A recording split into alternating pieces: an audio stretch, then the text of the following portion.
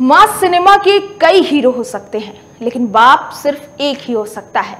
जी हाँ आप ठीक समझ रहे हैं, मैं बात कर रही हूँ the one and only Salman Khan की।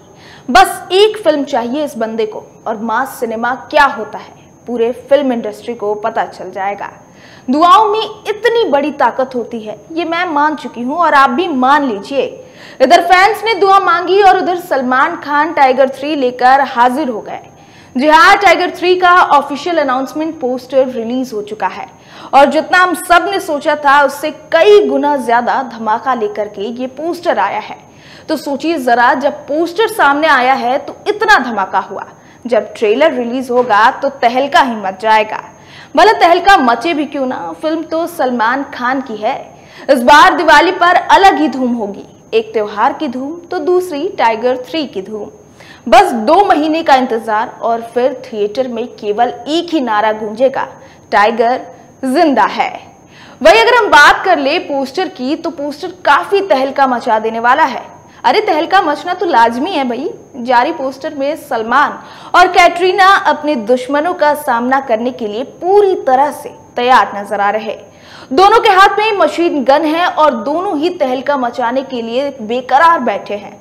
अब देखिए, पोस्टर से साफ़ समझ आ रहा है कि फ़िल्म की सीक्वेंस क्या है। सलमान खान सीक्रेट एजेंट के रूप में दिख रहे हैं। वैसे आपको बता दें कि काफ़ी समय बाद भाईजान नो नॉनसेंस वाले लुक में नज़र आए हैं। सलमान खान के अलावा एक चीज़ ऐसी है, जो इस पोस्टर में जिसने चर्चाओं का बाज़ार गर्म कर दिया है। जब आपकी नज़र सलमान खान से थोड़ा हट जाए तो जरा पोस्टर के ऊपर जो बड़े बड़े शब्दों में लिखा है, जरा उस पर गौर कीजिए। Following the event of Tiger Zinda Hai War Pathan भाई, ये है इंडियन ऑडियंस को लूटने का मास्टर प्लान स्पाई यूनिवर्स ये वो शब्द है जिसने पूरे इंडियन सिनेमा का फ्यूचर टिका हुआ है। हज़ार करोड़ छोड़े, हम शायद दस हज़ार करोड़ का भी नंबर ला सकते हैं। अगर ये स्पाई यूनिवर्स वैसा निकल जाए जैसा हमने सोचा है। आपको बता दें कि स्पाई यूनिवर्स की शुरुआत सलमान खान ने की थी। आज से करीब 11 साल पहले विथ एक था टाइगर स्पाई यूनिवर्स में ये सबसे पहले फ़िल्म एक था टाइगर रहा। उसके बाद ऋतिक रोशन टाइगर श्रॉफ की फ़िल्म वॉर भी इसी यूनिवर्स में शामिल हुई। अब भला सलमान खान जहाँ हो, वहाँ शाहरुख ना पहुँचे, ऐसा तो हो ही नहीं सकता। करण और अर्जुन दोनों साथ साथ ही रहेंगे। तो फिर क्या था? शाहरुख भी अपने फ़िल्म पठान के साथ इस यूनिवर्स में शामिल हो गए। लेकिन आपको बता दें कि स्पाइक यूनिवर्स की सबसे खास फ़िल्म टाइगर थ्री होने वाली है। सलमान और कटरीना की जोड़ी।